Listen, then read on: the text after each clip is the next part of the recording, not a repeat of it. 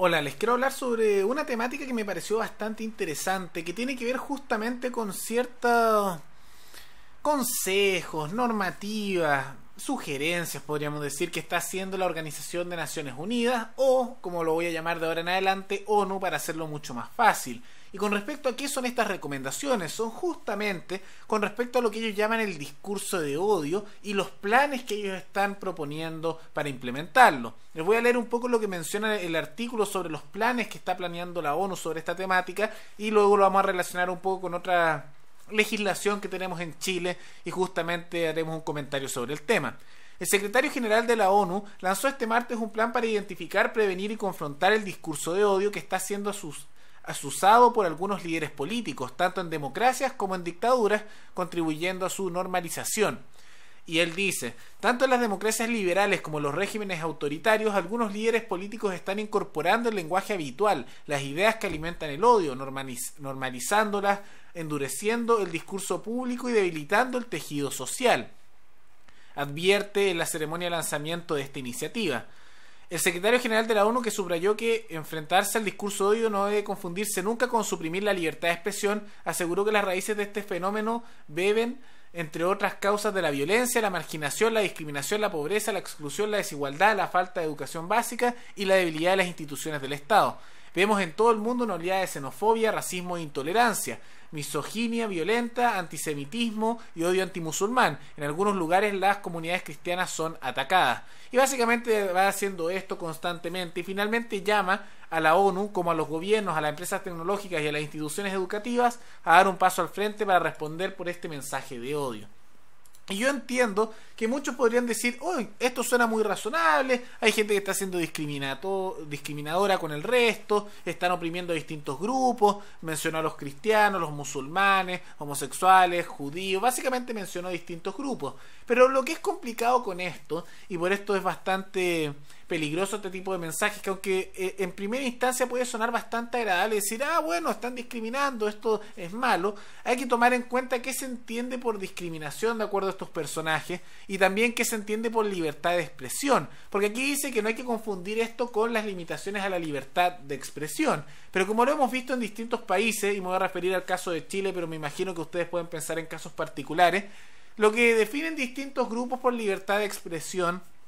son cosas bastante distintas. Por ejemplo, Estados Unidos, y yo adhiero más a este tipo de pensamiento, la libertad de expresión es cualquier mensaje o cualquier actitud o acto que se haga sobre los propios bienes, tu propiedad, o hablándole a otro, o por medios hablando a otro, que puedas decir lo que tú quieras siempre y cuando no se esté haciendo una amenaza directa que de daño, de, asesinato, etcétera, justamente que sean simplemente mensajes que pueden ser erróneos, verdaderos, da lo mismo eso, está dentro de la libertad de expresión, pero si es un mensaje que por ejemplo estás llamando a matar a alguien o son amenazas creíbles en contra de otro, están fuera de la libertad de expresión. Y todo el resto, por desagradable que sea, por poco científico que pueda parecer o por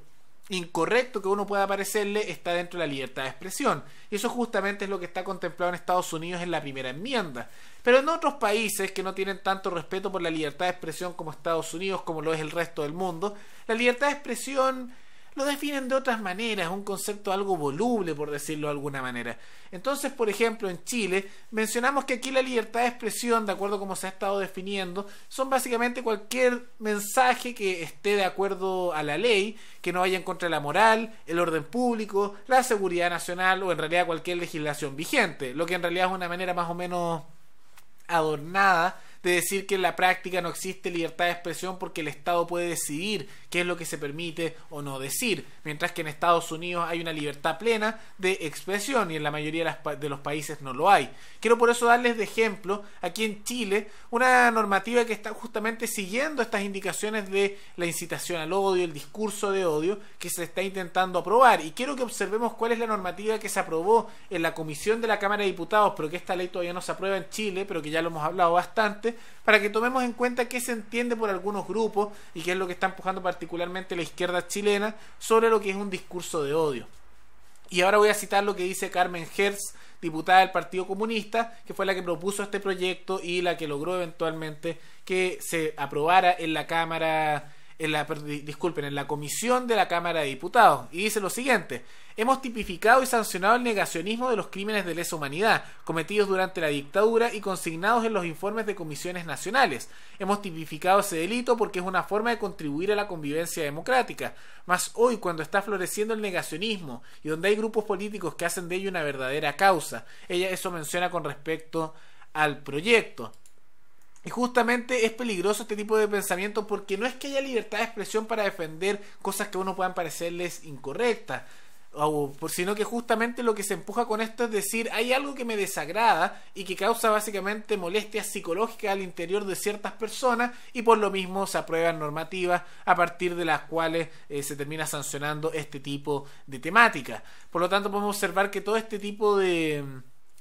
de mensajes que es incitar al negacionismo, por ejemplo, se considera como cualquier cosa, en el caso de Chile, que haga cierta apología de Pinochet de cualquier medida. También eh, discursos como el que usa José Antonio Caz, que critica las violaciones a los derechos humanos, pero menciona el tema de, del legado económico que, que, se,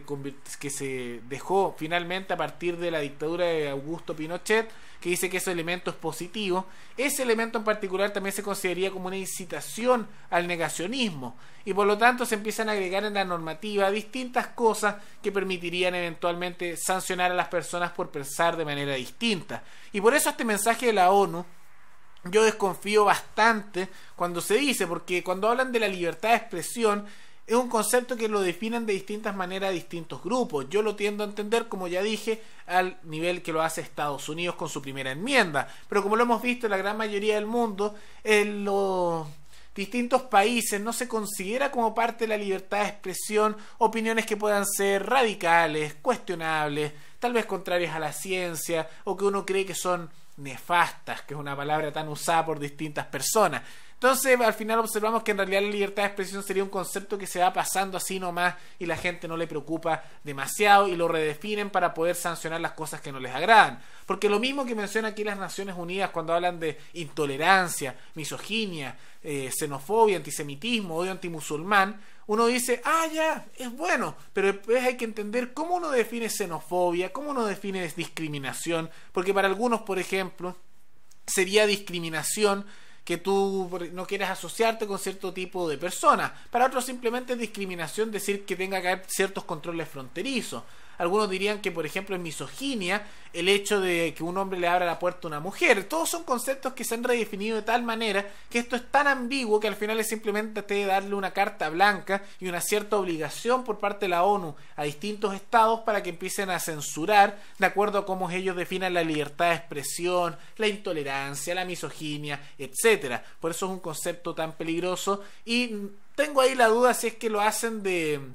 de manera consciente este tipo de actuaciones, sabiendo que hay esta cierta manipulación detrás, o si simplemente lo hacen con buenas intenciones y no se dan cuenta de lo que están empujando. Realmente no lo sé, pero yo por eso desconfío bastante estos organismos internacionales que empujan este tipo de políticas, porque como hemos visto en Chile, y ahí podrán ustedes dar ejemplos de distintos países, se observa que se usa como una excusa para fortalecer el rol del Estado, quitar libertades civiles, aumentar la censura estatal y después que los políticos y los funcionarios públicos sean aquellos que definan es correcto, qué es permisible y qué cosas se pueden permitir de acuerdo a la tolerancia de estos personajes.